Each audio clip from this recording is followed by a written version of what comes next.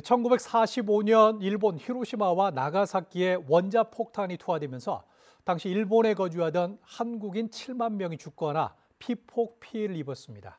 80년 가까운 세월이 흘렀지만 지금도 제주 도내에 원폭 피해를 입은 1세대 생존자들이 있는 것으로 확인됐습니다. 김용원 기자가 만나봤습니다. 1945년 8월 6일 일본 히로시마에 이어 8월 9일 나가사키에 원자폭탄이 투하됐습니다.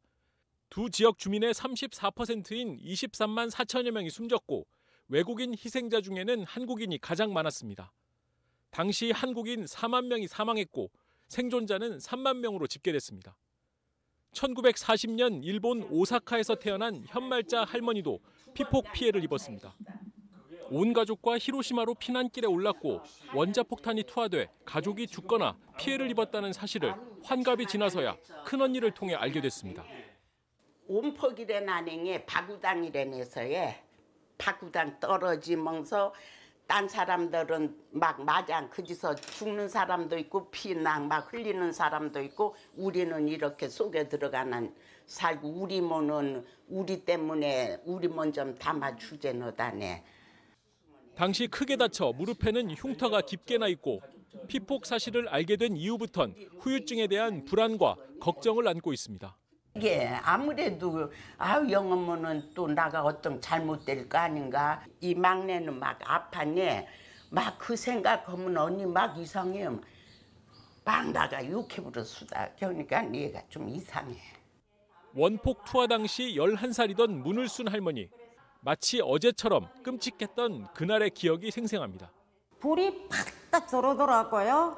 그래서 낮에 무슨 전기불이 오나 싶어서 이래 쉬다 보니까 전기불이 안 오고 불이 치다 보는 순간에 막 타다다다다 소리가 나니까 귀가 꽉 먹어버려요. 어떻게 소리가 크든지요. 이방 전신에 송장이에요. 사람이 죽어갖고 집집마다 송장이에요.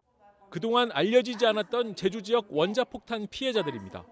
히로시마 또는 나가사키의 일정 구역에서 직접 원자폭탄 피해를 입었고 태아 상태에서 피폭돼 일본 정부로부터 공식 피해자로 인정됐습니다. 현재 연령대는 70대 후반에서 90대로 제주에는 제주가 고향이거나 다른 지역에서 온 1세대 원폭 피해자 8명이 생존해 있는 것으로 파악됐습니다. 히로시마나 나가사키에 원폭 포심지에 주소를 두었거나 본 적에 주소를 두면서도 2인 이상의 그, 그 당시에 정인이 있어야 돼요. 음. 예, 그래서 그래가지고 나온 게 어렵게 어렵게 나온 기 때문에 그 사람들은 확실합니다.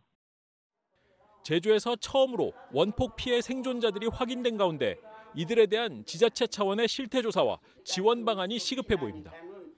KCTV 뉴스 김용원입니다.